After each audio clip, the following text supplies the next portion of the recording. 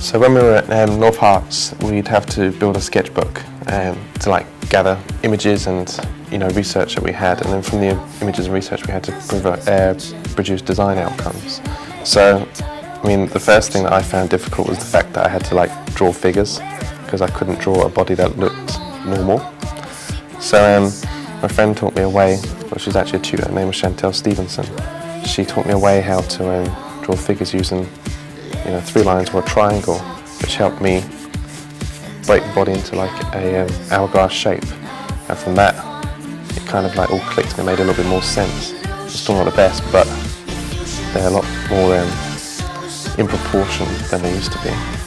Um, so from once I've got the figure, I take the research ideas, or, like the images that I've collected, and I look for shapes that could be used in a flattering kind of way. Um, NHC was like a family to me, you know.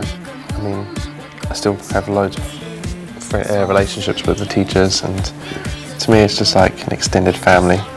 Um, it's good because you know, out of school and out of university, the only people I still talk to are the NHC people.